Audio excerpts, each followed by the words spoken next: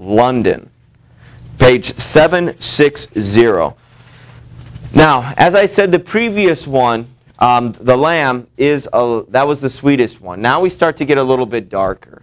Okay? I want you to, in your mind, paint a picture of what London looks like.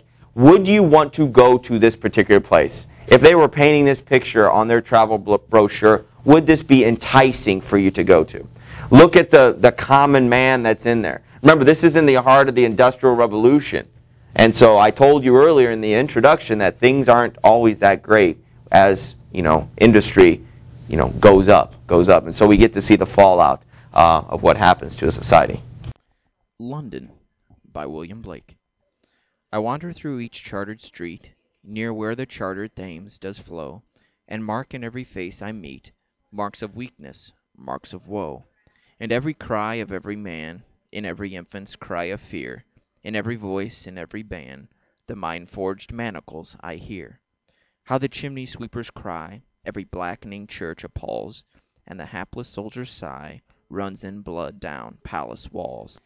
But most through midnight streets I hear how the youthful harlot's curse blasts the new born infant's tear and blights with plagues the marriage hearse.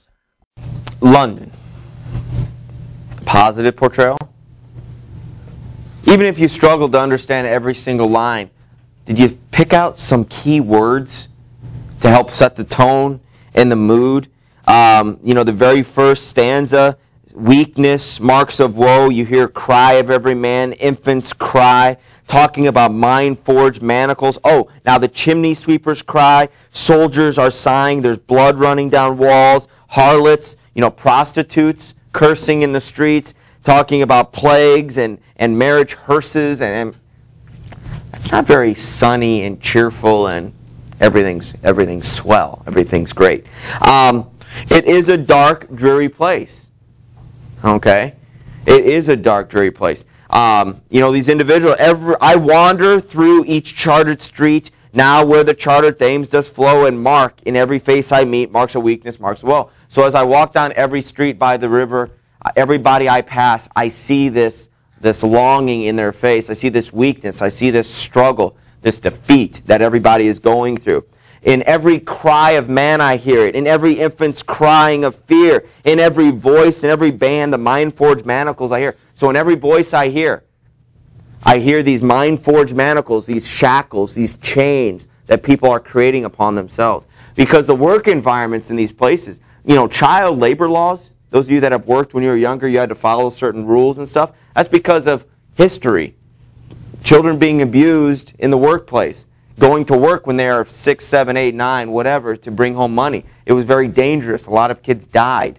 Okay? Um, people would work for barely any money almost all day to go home, be with their family, and then do it again the next day. And so we see these mind forged manacles, and people are crying. He sees the weaknesses on people's face. You know, how, every, how the chimney sweepers cry and every blackening church appalls and the hapless soldier's sighs runs in blood down palace walls. Just not a lot of positive imagery we have here, especially when you have blood running down palace walls. So maybe the blood of the soldiers and the wars and those revolutions, okay, and the sighing of the soldiers, we can see that reflected on the, the palace walls, you know, defending our nation and such. So we could look at this as London, it's rough here, but it's also rough abroad, and even abroad, it still affects us and impacts us uh, here at home. Um, and then ultimately, to, to seal the, the beautiful landscape of London, but through, but most through, excuse me, but must through midnight streets I hear how the youthful harlot's curse blasts the newborn infant's tear and blights with plagues the marriage hearse.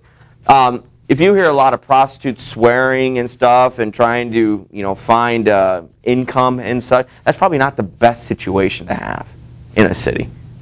You know what I mean? You really don't, that's not a great promotion for your particular city. And we have that on top of all of those other things. It's almost like a math equation. The blight and the plague of A plus B plus C plus D equals London equals this wonderful place. Okay, so these dark images. Okay, and we'll see more as we go um, on in, in the uh, in the future. Okay, London.